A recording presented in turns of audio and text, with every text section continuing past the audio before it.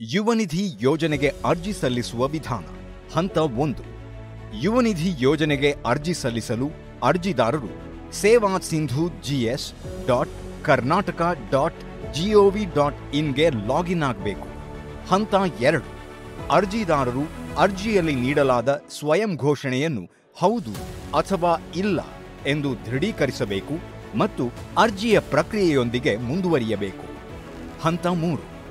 ನಂತರ ಅರ್ಜಿದಾರರು ಆಧಾರ್ ಸಂಖ್ಯೆಯನ್ನು ನಮೂದಿಸಬೇಕು ಮತ್ತು ಇ ಕೆವೈಸಿಯನ್ನು ಪೂರ್ಣಗೊಳಿಸಬೇಕು.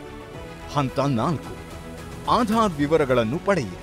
ಬಟನ್ ಕ್ಲಿಕ್ ಮಾಡಿದ ನಂತರ ಆಧಾರ್ನಲ್ಲಿ ಇರುವ ಅರ್ಜಿದಾರರ ವಿವರಗಳು ಬರುತ್ತವೆ. ಹಂತ ಐದು. ಅರ್ಜಿದಾರರು ತಮ್ಮ ಕೋರ್ಸ್, ವಿಶ್ವವಿದ್ಯಾಲಯದ ಹೆಸರು, ಕಾಲೇಜು ಹೆಸರು ಮತ್ತು ವಿದ್ಯಾರ್ಥಿ ಗುರುತಿನ ಸಂಖ್ಯೆಯನ್ನು ಆಯ್ಕೆ ಮಾಡಬೇಕು. ಎನ್ಎಡಿನಲ್ಲಿ ಡೇಟಾ ಲಭ್ಯವಿದ್ದರೆ ವಿವರಗಳನ್ನು ಸ್ವಯಂಚಾಲಿತವಾಗಿ ಪಡೆಯಲಾಗುತ್ತದೆ ಅಥವಾ ಸಂಬಂಧಿತ ದಾಖಲೆಗಳ ಅಪ್ಲೋಡ್ನೊಂದಿಗೆ ವಿವರಗಳನ್ನು ನಮೂದಿಸಲು ಅವಕಾಶ ಒದಗಿಸಲಾಗುವುದು. ಹಂತ ಆರು, ನಿವಾಸ ಪರಿಶೀಲನೆಗಾಗಿ ಅರ್ಜಿದಾರರು ನಾಲ್ಕು ಆಯ್ಕೆಗಳಲ್ಲಿ ಒಂದನ್ನು ಆರಿಸಬೇಕಾಗುತ್ತದೆ. ಪದವಿ, ಡಿಪ್ಲೊಮಾ, ರೇಷನ್ ಕಾರ್ಡ್ ಅಥವಾ ಸಿಇಟಿ ಸಂಖ್ಯೆ. ಡೇಟಾ ಲಭ್ಯವಿದ್ದರೆ ವಿವರಗಳನ್ನು ಸ್ವಯಂಚಾಲಿತವಾಗಿ ಪಡೆಯಲಾಗುತ್ತದೆ ಅಥವಾ ಸಂಬಂಧಿತ ದಾಖಲೆಗಳ ಅಪ್ಲೋಡ್ನೊಂದಿಗೆ ವಿವರಗಳನ್ನು ನಮೂದಿಸಲು ಅವಕಾಶ ಒದಗಿಸಲಾಗುವುದು. ಹಂತ ಏಳು.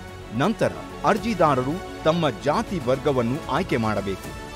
ಒಟಿಪಿ ಮೌಲ್ಯೀಕರಣದೊಂದಿಗೆ ಮೊಬೈಲ್ ಸಂಖ್ಯೆಯನ್ನು ನಮೂದಿಸಬೇಕು ಮತ್ತು ಇಮೇಲ್ ಐಡಿಯನ್ನು ನಮೂದಿಸಬೇಕು. ಹಂತ ಎಂಟು.